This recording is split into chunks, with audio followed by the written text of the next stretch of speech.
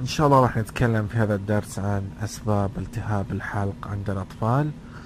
عند الأطفال بشكل أفضل آه، إذا قمنا باستعراض الحالات قد نتك قد نتمكن من فهم حالة التهاب الحلق الصحيحة التي تشكل أيضا أسباب التهاب الحلق عند الأطفال. آه راح نعرض بعض الأسباب والحالات الصحية آه التي تشمل بعض الحالات المهمة التي تساعدنا في فهم مرض التهاب الحلق.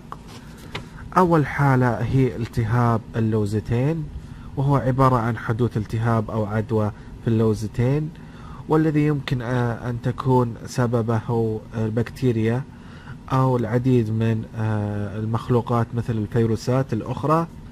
طبعا هذه أحد الأسباب.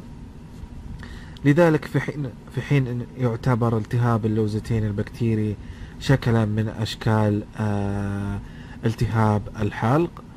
أيضا فإن أنواع الذي تسببه آه، بكتيريا سرايبيتو كوكاس العقدية وأيضا التهاب اللوزتين الفيروسي الأخرى. يمكن أن تسبب التهاب الحلق عند الأطفال وهي آه، ممكن آه، تتحول آه، هذه الالتهابات الحلقية إلى مضاعفات مثل ارتفاع درجة الحرارة تصل إلى 40 درجة مئوية ممكن تسبب تخلف عقلي في الدماغ بسبب موت الخلايا المخية لأن الخلايا المخية لا تتحمل هذه الحرارة. وأيضا ننصح استشارة الطبيب المتخصص في هذا المجال.